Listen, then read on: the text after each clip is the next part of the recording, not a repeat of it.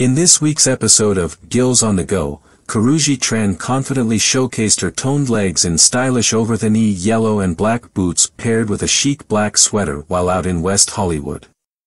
Her vibrant red manicure added a pop of color to her look, highlighting her fashion-forward choices. The Bay actress had a great time with her best friend Jay, Ryan, striking a fierce pose together after indulging in a delicious meal at the trendy eatery, Didi. During their dinner, Jay, Ryan couldn't resist capturing some funny moments on camera as Karrueche made silly faces, making it a memorable and laughter-filled evening. The delightful Upcycle Nation host was all smiles as she left the restaurant, clearly enjoying her time at Didi.